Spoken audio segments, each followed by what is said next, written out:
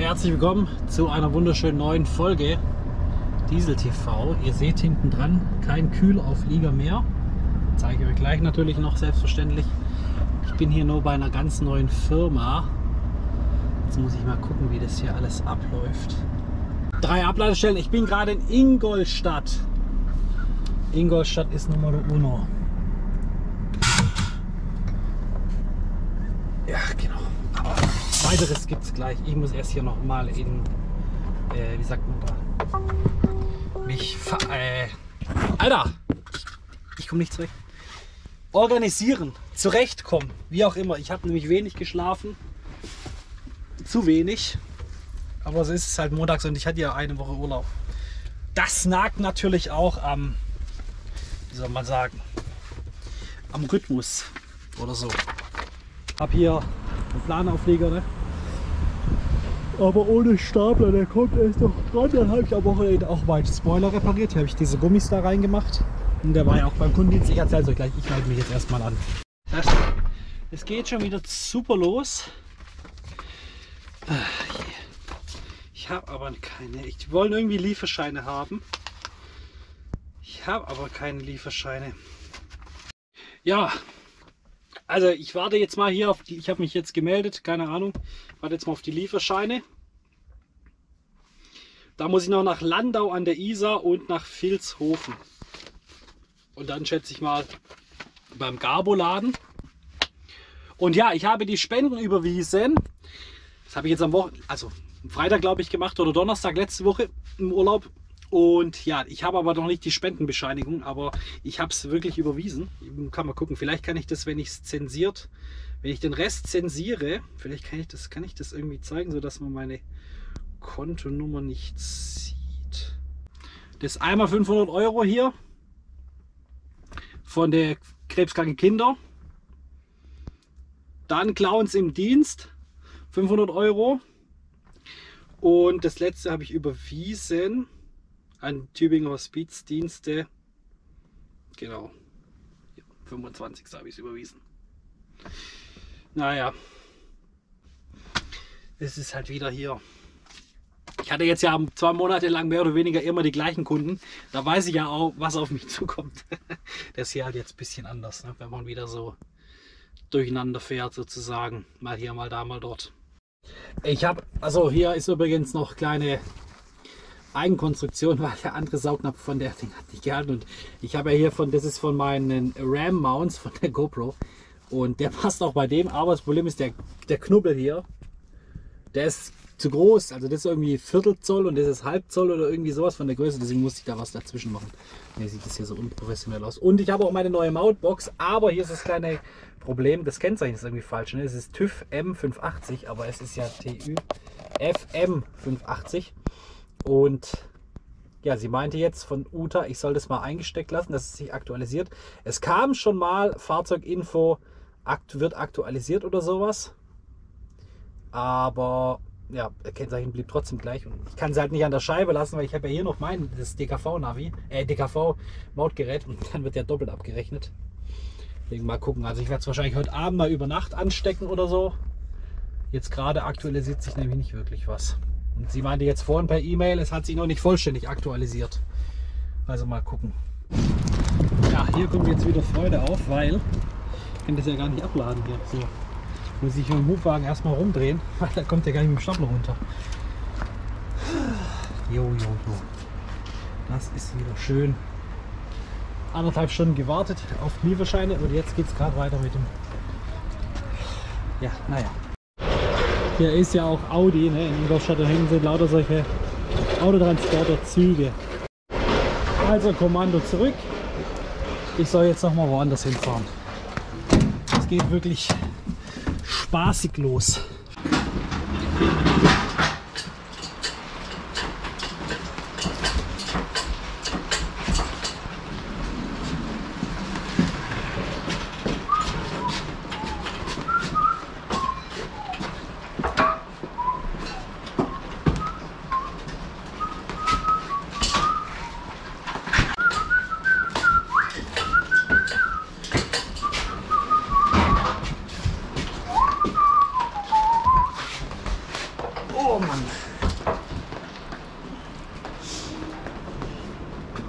Es läuft so gut am Montag.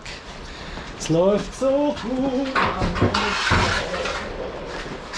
Es läuft so gut. Es läuft so gut. Es läuft so gut.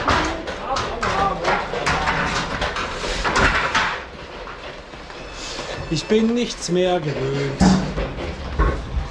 Ja, ich bin echt nichts mehr gewöhnt. Zwei Monaten kühler fahren haben mich faul gemacht. Das war richtig faul.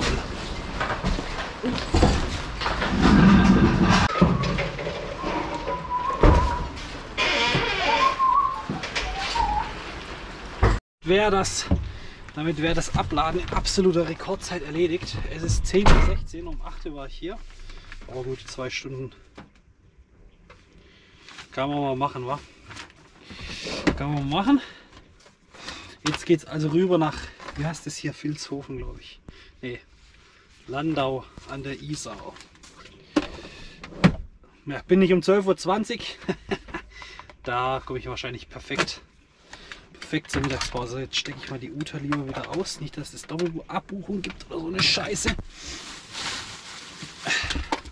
Ja, genau. Also, bin gerade nicht so begeistert davon. Aber ich sage ja immer, ist nicht schön. Aber was willst du machen? Ne? Ich bin jetzt in Landau an der Isar.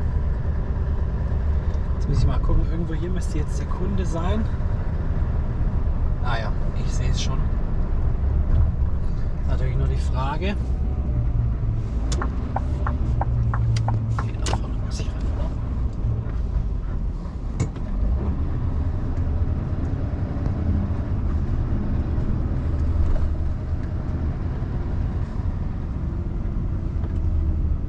Hui. Ah ja doch, da kann ich schon reinfahren. Hat jetzt 12.10 Uhr. Ich habe wahrscheinlich Pech. Ja, toll. Wir haben bis 13 Uhr Pause. Das ist jetzt sehr, sehr schlecht. Ja, diese Woche wird es wohl interessant. Der sagt hier irgendwie SD-Karte kaputt.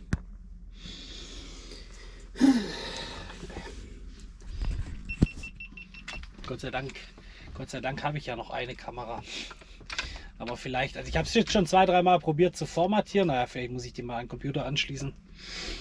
Wie auch immer. Das Problem ist halt, warum ich jetzt gesagt habe, dass es blöd ist, dass das nicht geht. Ich sollte, ich kann nur bis 15 Uhr wohl laden, so wie ich das verstanden habe. Und äh, wenn ich jetzt hier erst in einer Stunde wegkomme, dann schaffe ich es nicht bis 15 Uhr zur Ladestelle.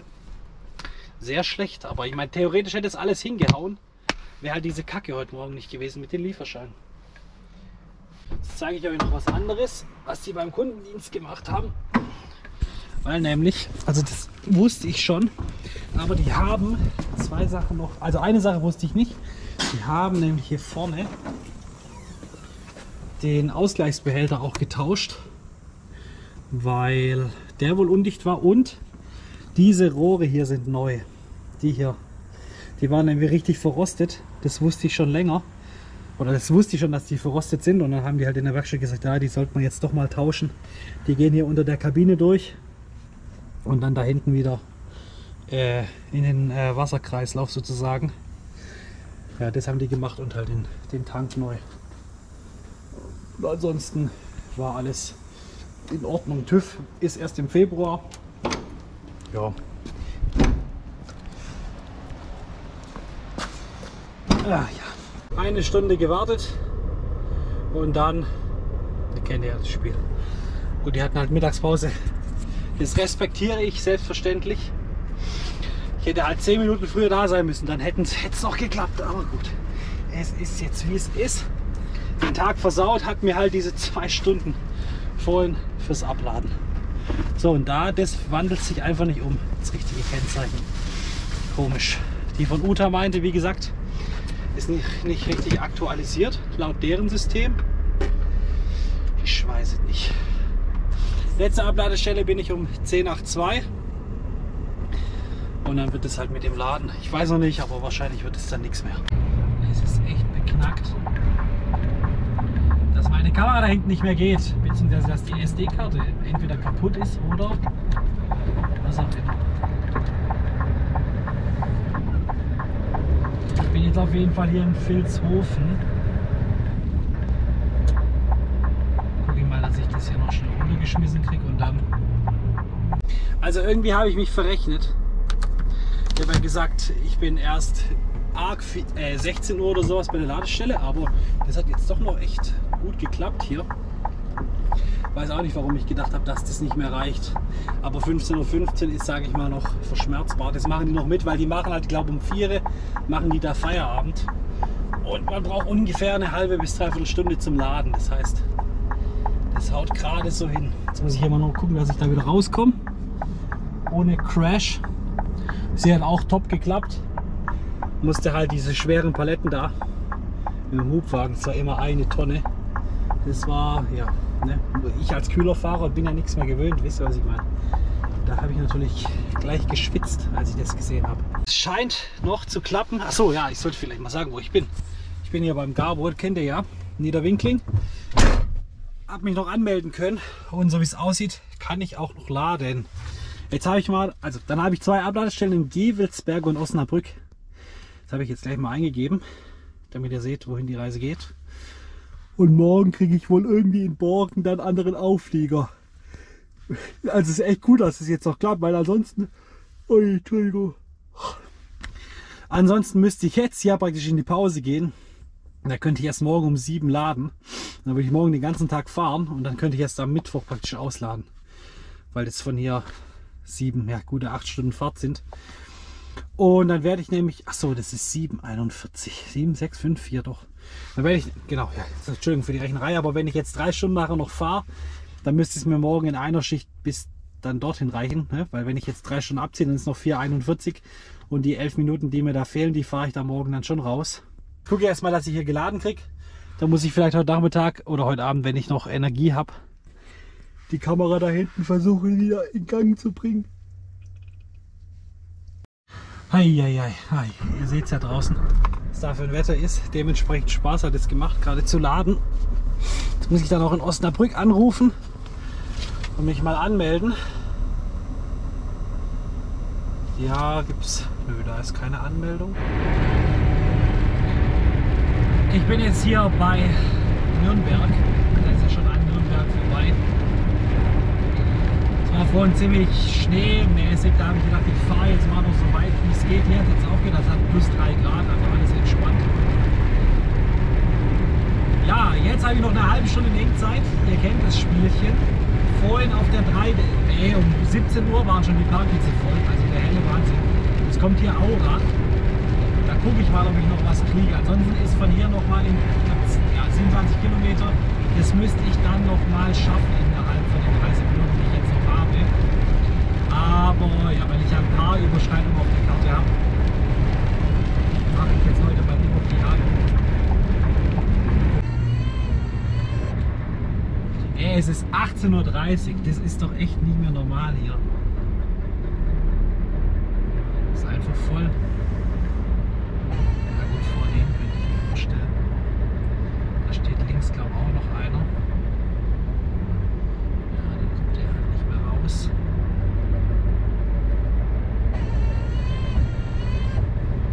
Ja, da drüben wäre noch was gewesen. Aha, scheiße.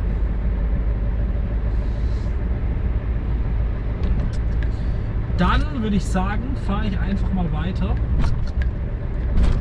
und werde mein Glück auf der nächsten Raststätte ich glaube nicht, dass das hier noch was wird. Also mit Parken. Ich habe jetzt mit Tankpool geguckt, mit meiner Tankpool-App. Normalerweise an diesen Tankpool-Tankstellen, hier ist eine, nämlich hier in der Industriestraße. Da kann man normalerweise immer parken. Ne, da ist also immer irgendwo ein kleines Stückchen Platz, wo man sich reinstellen kann. Das werde ich jetzt einfach mal probieren. Ist ja, ihr seht, er ist nicht weit weg von der Autobahn. Ja, mal gucken ob da was geht oder nicht, weil ich glaube, das hat auf der nächsten. Ja, der hier mit dem Auto ist auch. Stehen ja alle und der muss sich dann da irgendwie rumdrücken, ne? nach vorne durchdrängen, um dann zu merken, geht doch nicht. Ah. Ja, Leute, ich bin hier in Weiß gar nicht. Das ist hier so ein Autohof. Ich hatte mir überlegt, zu dieser Aral darüber zu fahren, aber so schnell kann es gehen. Wurde natürlich mal wieder erkannt. Lang, lang ist es her. Aber jetzt, wo ich wieder hier in, na, jetzt, wo ich wieder hier in Deutschland unterwegs bin, hat sie das gerne mal. Er hat mir gesagt, jetzt habe ich gar nicht nach dem Namen gefragt. Naja, ich hätte wohl auch, wenn ich hier gerade ausfahre nach Höchstadt, da kann man wohl auch am Kreisverkehr rechts, da kann man dann wohl auch parken. Aber gut, ja, ich gehe jetzt mal da rein, hol mir mal mein Parkticket und dann war es das für heute. Damit geht der Tag gut los. Erstmal was in den Mülleimer geschmissen. Oh, es ist 4 Uhr morgens hier auf dem Autohof. Ich muss jetzt mal noch meine Gutscheine einlösen hier. Also ich habe 15 Euro bezahlt fürs Parken und du kriegst 11 Euro immerhin zurück. Sogar kann, äh, also du kannst sogar für die 11 Euro kannst du drei zum Duschen benutzen. Aber weil ich heute Abend wahrscheinlich in Borken bin, äh, gehe ich da duschen. Spare ich mir das. Jetzt hole ich mir irgendwie einen Kaffee oder irgendwas. Ich habe gar keinen Hunger. Und dann geht es auch schon weiter. Ja, ein Kaffee und zwei Red Bull und schon sind 11 Euro weg. Ihr kennt ja die Preise. Äh, ja, jetzt fahre ich einfach mal los. Aber also genau, äh, noch eine Neuigkeit. Ich habe gestern noch mal eine andere Kamera. Die habe ich repariert, beziehungsweise sie hat sich selber repariert. Das heißt, da kann ich auch wieder Aufnahmen machen. Aber ich melde mich dann erstmal, ich denke mal aus Gevelsberg oder so, wenn es hell ist. Weil, ja, wie gesagt, im Dunkeln ist immer Kacker mit GoPro. Schaut euch die Autobahn mal an. Alter, ist das einfach Baustelle, Baustelle, Baustelle, Baustelle, Baustelle, Baustelle, Baustelle, Baustelle. Der Hammer, echt. Es ist wirklich der Hammer. Ich habe hier gerade in auf der 45, sag mal, wo bin ich denn hier überhaupt? Hier ist glaube nichts. Siegen, Gießen, Wetzlar. Ja, Gießen, guck. Ja, auf dem Auto kurz Viertelstunde Pause gemacht. Jetzt geht's weiter im Text. Und gleich noch mal eine halbe Stunde Pause demnächst. Ach ja. Weil ich musste nämlich dringend auf Toilette. Dann habe ich gleich noch meine Scheiben geputzt. Da war nämlich gefühlte 80 cm Salzschicht drauf. Ja, und Sprit hier ist abartig. 1,73 kostet der Diesel. 1,72 der LKW Diesel. Also ja, ist nicht schön. Nee, Spaß. Da könnte man ja wirklich was machen an den Preisen. Aber ja, ja. Ich höre mal auf, immer nur zu jammern, sonst gibt es wieder Kommentare. Du bist immer nur am Jammern. ah, hier ist übrigens jetzt diese gesperrte Brücke hier oben. Und dann geht gleich die Jammerei weiter. Nein, natürlich, das ist sehr toll, dass diese Brücke gesperrt ist. Ist sehr toll. es trifft mich jetzt ja nicht so, aber ich habe von einem gehört, der regelmäßig fährt, dass man deutlich länger braucht jetzt, weil man da durch die Botanik fahren muss. Sie bringen gerade vielleicht den kleinsten Start noch. Ah, muss noch die Gurte wegmachen. Und ich dachte, ich muss vielleicht noch fahren. Zuschauer, ich habe ihm gesagt, ich lade kurz ab, dann habe ich Zeit, aber er ist irgendwie weg.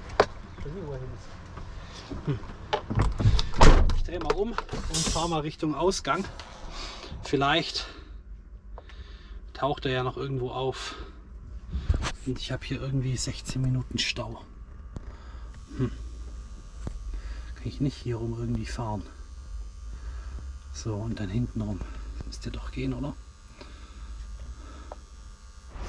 Ja, läuft. Äh, jetzt habe ich noch die drei Paletten hier. Ne, vier. Und dann ist fertig hier. Nach dem Brückengate. Ich bin jetzt hier am äh, Laden. Ich musste mal wieder beide Seiten aufmachen. Gestern ja auch schon. Aber es geht wohl relativ schnell. Also auch eine Kollegin von Borchers. Die ist schon fast fertig. Ja, also wir stellen immer zwei Paletten auf einmal rein. Das sollte also relativ zügig gehen. Und dann habe ich ja Erwitte und Schloss Holte Stubenbock zum Abladen heute. Und dann werde ich wahrscheinlich diese leeren Trommeln laden, vermute ich jetzt einfach mal. Meine Kamera hinten hängt mal wieder und ich, ich hänge hier jetzt gleich auch, weil ich glaube die Autobahnauffahrt da ist gesperrt. Alter, du kannst hier echt nicht mehr fahren. Jo, ist jetzt schon das zweite Mal heute. Naja, da muss ich halt irgendwie, muss ich wohl da gerade ausfahren. Ne? Und dann da vorne drauf oder hier drauf. Geht es denn?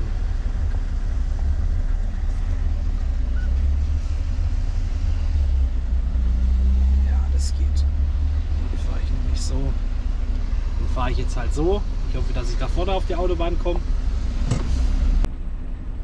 Da drüben ist jetzt gesperrt, ne? Eigentlich hätte ich hier auf die Autobahn gemusst, aber so wie das aussieht, kann ich auch da vorne links fahren und dann komme ich trotzdem drauf. Ich war ja gerade auf dem Aralautohof ähm, hier in Soest. Zur Viertelstunde rüber zum Kunden. 10.30 Uhr bin ich da. Das sollte eigentlich alles einigermaßen funktionieren dort. Ist jetzt halt blöd, dass wieder meine Kamera da nicht funktioniert hinten. Das nervt echt. Aber ja, muss ich halt am Wochenende mal eine neue SD-Karte reinmachen. Ich denke mal, die ist einfach Kaputovic.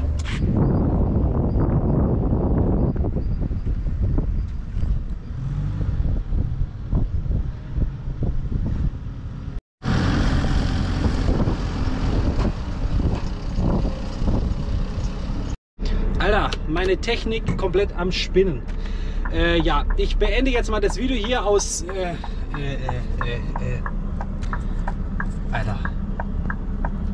Erwitte, genau, Erwitte. Jetzt haben wir's. Weil, also ja, in der nächsten Folge, ich weiß jetzt nicht, keine Ahnung, wie das wird, weil ich nicht, die Aufnahmen da, keine Ahnung, ob ich die jetzt retten kann, ne, mit der kaputten GoPro. Ansonsten wisst ihr, ein Deutsch Träumchen schaut im Shop vorbei. Es gibt jetzt auch eine Diesel TV Tasse, mehr dazu im übernächsten Video, schätze ich mal, wenn die bis dahin kommt zu mir nach Hause. Ähm, danke fürs Zuschauen, ihr seid ein Träumchen. Was ich mir noch wünschen würde, wäre ein bisschen Kritik. Also wenn ihr irgendwie Sachen habt, wo ihr sagt, das sollte ich mal verbessern oder da würde ich mir noch was wünschen oder dies und das und jenes. Ich weiß, das Fazitvideo kommt auf jeden Fall.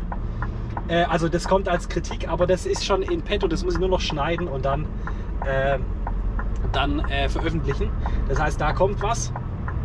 Und ja, ansonsten, falls ihr noch irgendwelche anderen Kritikpunkte habt, äh, ich weiß, im Dunkeln soll ich nicht, gut, nicht so viel filmen.